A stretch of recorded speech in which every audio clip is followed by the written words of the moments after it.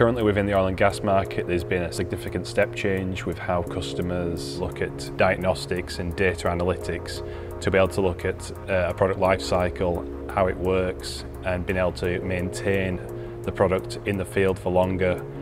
Within some industries this is far more predominant than other industries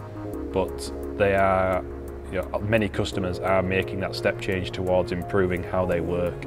So many of our customers have invested heavily in digital valve positioners, controllers and full systems which allow them to in principle monitor the valve's performance online at any time. Unfortunately, often a problem cannot be detected by these built-in systems, but if we go in and with our system, we can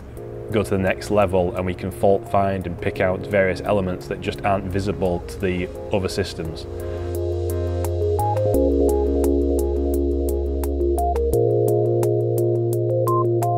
you